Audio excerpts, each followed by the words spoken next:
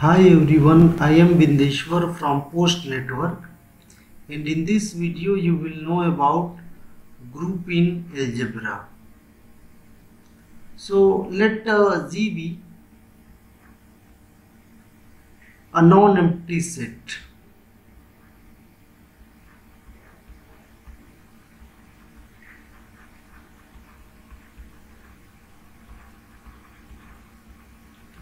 And in operation multiplication is defined over it.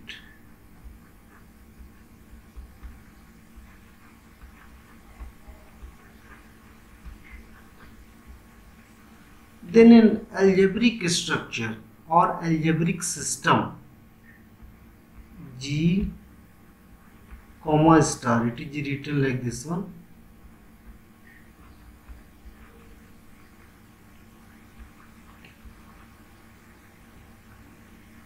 algebraic structure.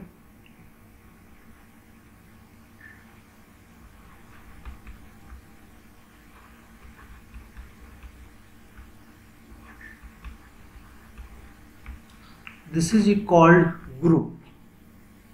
If it satisfies the following axioms the first one is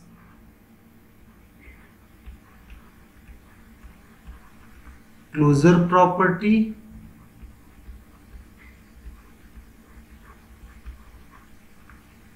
second associativity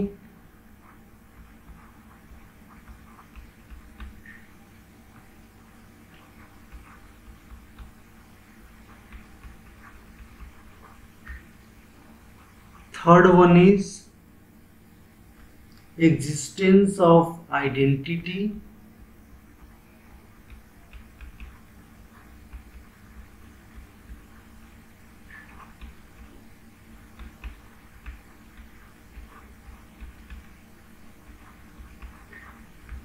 And fourth one is existence of inverse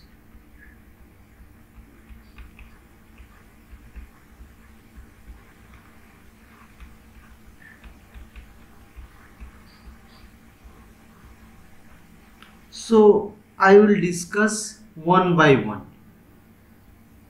So let us discuss closure property.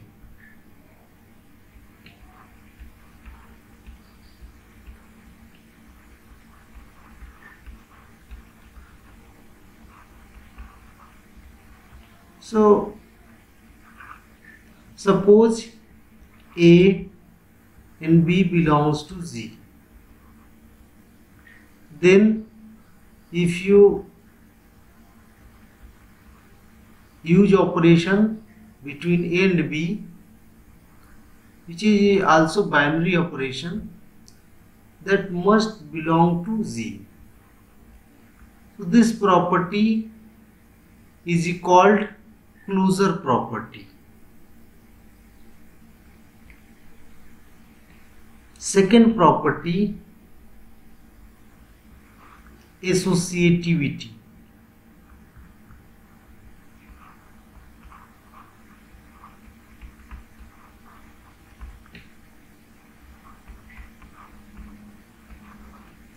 If A, B and C belongs to G then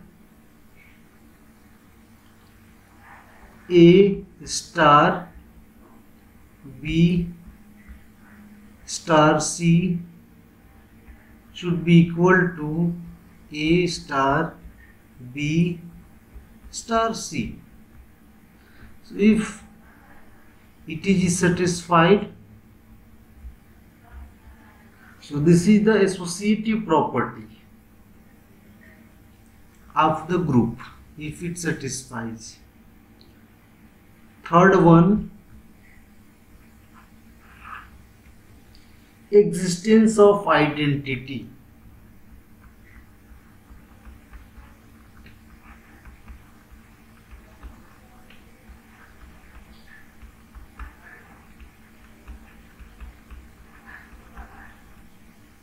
That means that there exists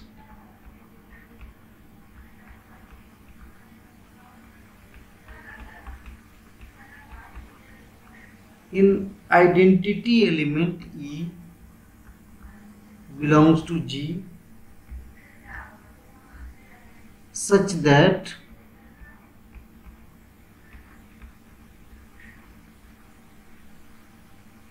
A E or EA is equal to A where A belongs to G.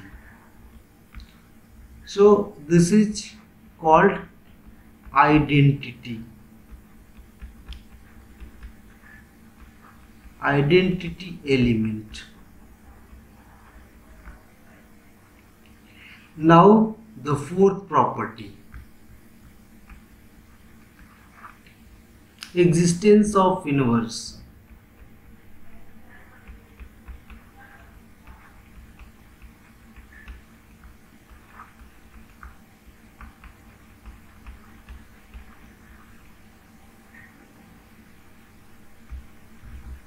It means that if A belongs to G, that means A is an element of G. So there exists B, which is also from G, and A star B or B star A is equal to identity element which is also in G. So this is the fourth property. So if an algebraic structure G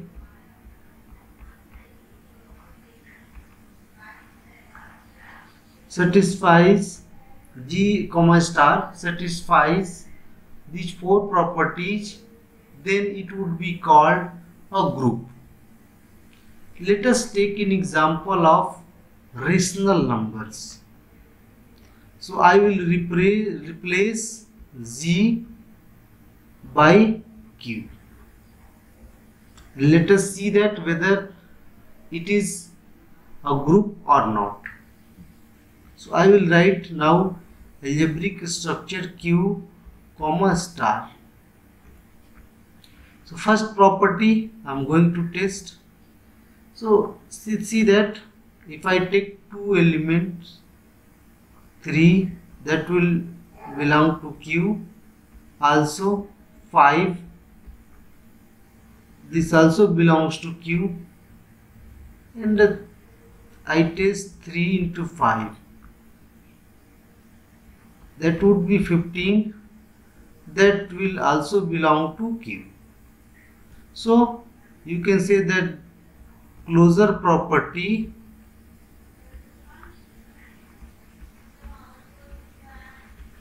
closure property is satisfying.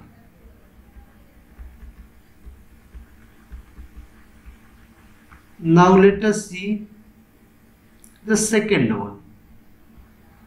Second one is associativity so let us take 2 that will belong to q 3 will also belong to q and 5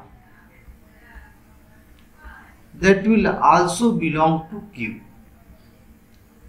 And see that 2 star 3 star 5 that should be equal to 2 star 3 star 5 so let us see that is 2 star 3 into 5 15 and also see that this side 2 into 3 that would be 6 into 5 that is 30 also 30 so associativity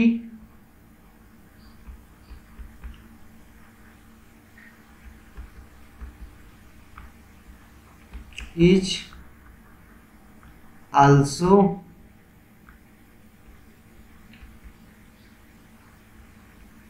also satisfying.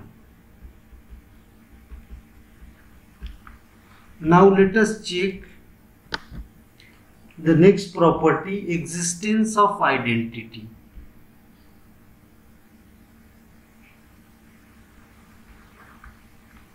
So see that uh, 1 belongs to Q. And also 5 belongs to Q. So see that if I write 1 star 5 that is 5 or 5 star 1 that is 5 that means that you can say that E A is equal to A or A is equal to A.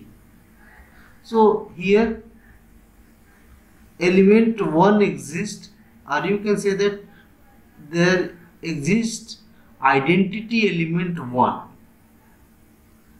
and if you multiply any element that would be resultant in the same number so it shows existence of identity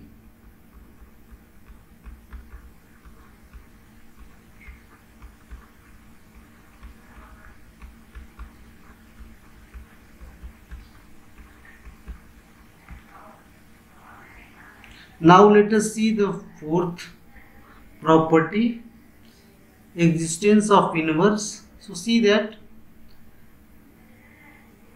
here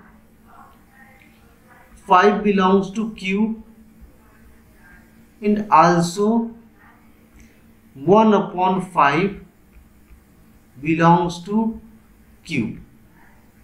Now see that 5 into 1 upon 5 you can also write 1 upon 5 into 5 and that would be equal to 1 what is E1 1 is identity.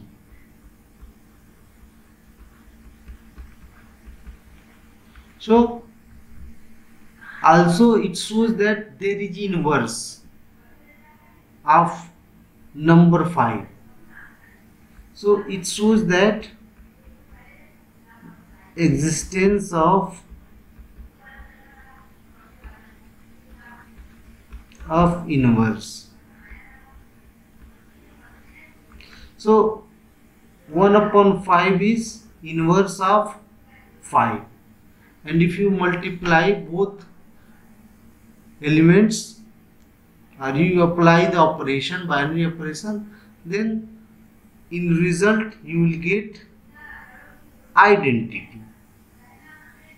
So there exists inverse 1 upon 5 of number 5 so now rational numbers you can say that q set of rational numbers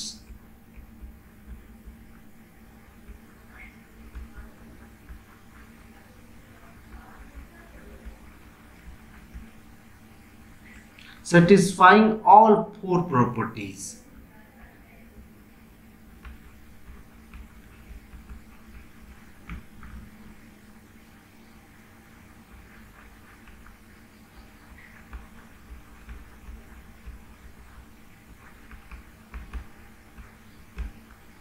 Right? So this is a group. So Q is group I can write. So this was about group and uh, I hope you have understood what is the group in algebra. So thank you for watching the video.